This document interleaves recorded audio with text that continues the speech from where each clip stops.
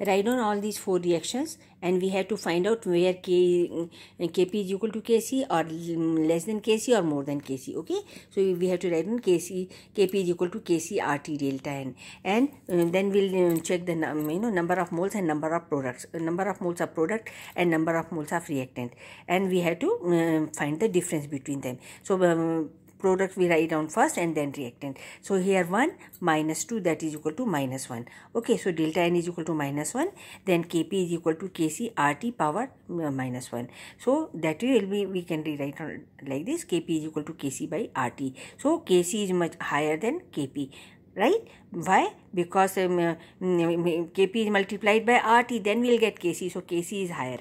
And then kp is lower. Now in second case co plus 3s2 3 plus 1 4 mole of reactant and 1 and 1 2 moles of products so what will be the answer uh, of delta ng that is 2 minus 4 so delta n will be equal to minus 2 see here this is delta n is equal to minus 2 okay. Now uh, formula will be kp is equal to kc rt power minus 2 okay. Then it will be kp is equal to kc by rt square. What does it mean? That kp is much lower than kc or you can say kc, kc is much higher than kp okay. Because um, case, when kc is divided by square of rt square then we'll get kp so it will be Kp is will, will be having lower value.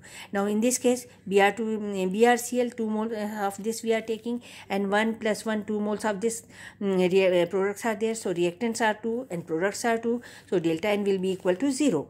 At that moment Kp is equal to Kc RT power 0 anything power 0 is equal to 1 so Kp is equal to Kc. So in this case when number of moles of reactant equals to the number of moles of product at that moment Kp will be equal to Kc. Now in the next case we'll see I2 plus gives you twice of I that is 1 mole of reactant and 2 moles of product. So products are more here so 2 products minus 1 mole of reactant so answer will be plus delta n is equal to plus 1 and what does it mean? It means Kp is higher than Kc because when Kc is multiplied by RT then only we'll get Kp so Kp is greater than Kc in this case. So when delta n is positive then only we'll get uh, higher Kp. See here, I have written more. thing.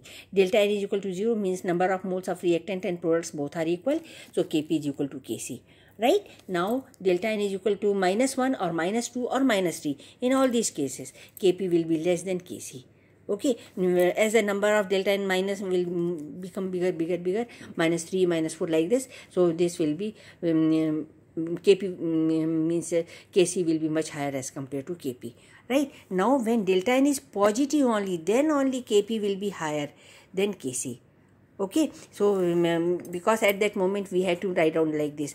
Kp is equal to kc rt uh, here power 1 kc rt square kc rt whole cube. So see here kp is increasing as the number of delta n is going to plus here plus 1 plus 2 or plus 3 i have written also. Plus 3 delta n. Okay so when delta n plus 1 plus 2 plus 3 so see k value of kp is going to be increased.